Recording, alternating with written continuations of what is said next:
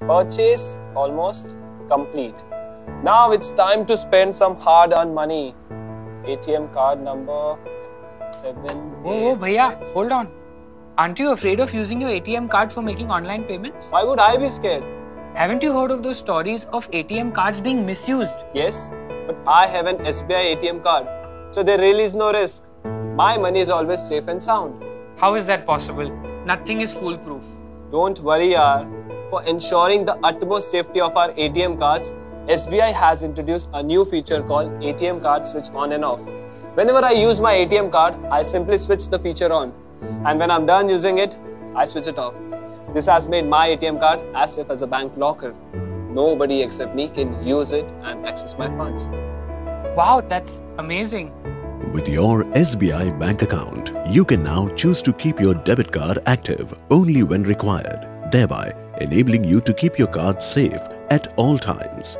It's simple. First, register your mobile number in the savings account pertaining to your card.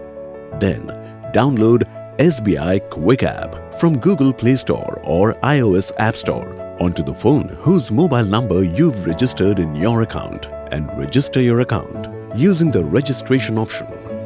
Clicking on the app will open the following screen. Choose the ATM card configuration option. Then, choose the ATM card switch on and off option.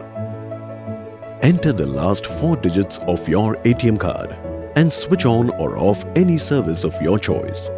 For example, if you do not want to use your card for e-commerce, simply switch it off. You will receive a confirmation within seconds. Now, your card cannot be used for online transactions. Whenever you want to make an online transaction, simply switch on the service. You will receive a confirmation in a few seconds and you can now use your card for online transactions. It really is that simple. This is game changing. I never knew SBI offered such a convenient and secure service. It's like having an ATM card with a lock and key. I agree. Now, like I do, even you can keep your services in the switch off mode until you need to use them. When you do need to use any of the services, you can switch it on. And after you're done using it, you can switch it off. And just like that, your card will become as safe as a bank locker. Thank you, SBI, for making sure that your customers are safeguarded. You truly are the safe banker to digital India.